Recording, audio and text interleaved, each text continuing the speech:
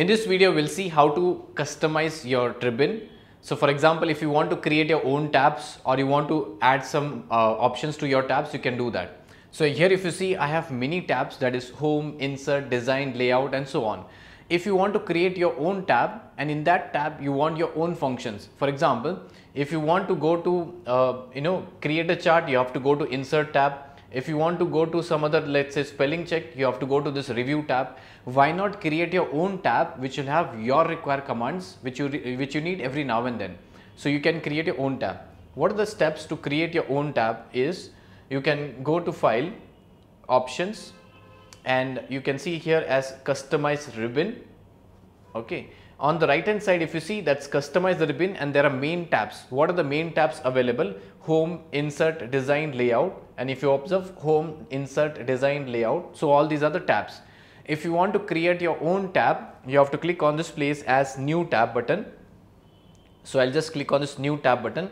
And you see there's a new tab and along with that there's a new group. Now what exactly is a group so these are the tabs and everything that is a clipboard or you can see that's a font, paragraph, these are separate groups in that tab. So now what I'll do is I'll just click on this new tab and I want to give some other name. So here I can just select and I can click on this rename. So I can click on this rename and I can just type any name here.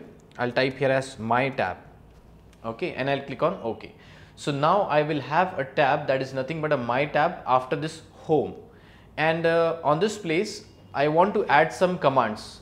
So I'll just click on this new group because in the group only you can add the commands.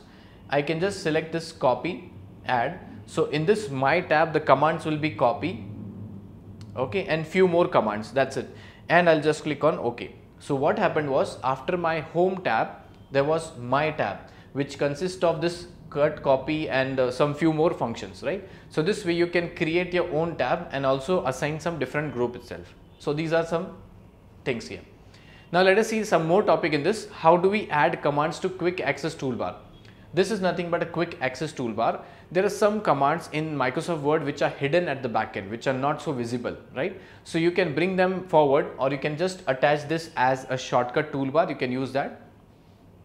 For example, I want this text to be converted into speech. I want a software kind of which should convert text to speech. So I have something in this place that is known as speak cells in Microsoft Word there's an option known as speak cells. That speak cells command I'll bring into this place and this text will be read by Microsoft Word. How do I do that?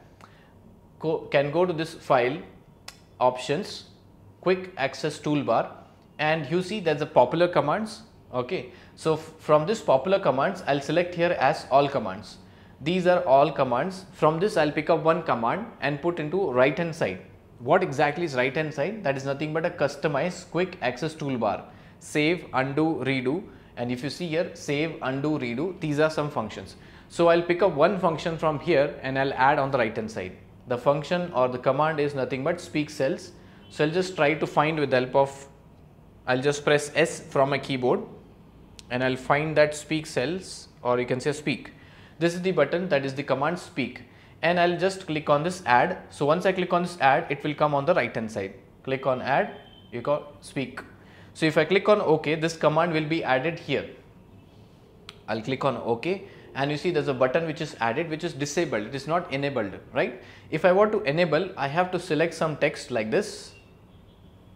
Okay, so I'll select some text like this. Okay, now selected text if I want to convert into a speech what I can do is I can just click on this button. Now it is enabled. I'll just click on the speech and see what happens. This will be read. Video provides a powerful way to help you prove your point. When you click Online Video, you can paste in the embed code for the video you want to add. Okay, now you might think where it is used exactly. Sometimes you have two copies, one is a soft copy and a hard copy. You want to check whether the both things are matching together or not. So that time you can ask this word to speak for you. That will be converted into a text to a speech software. So that is also inbuilt in this place. So I hope you have understood how to customize ribbon, create tabs, add commands to your tabs and also you can add commands to the quick access toolbar. That's all for this video.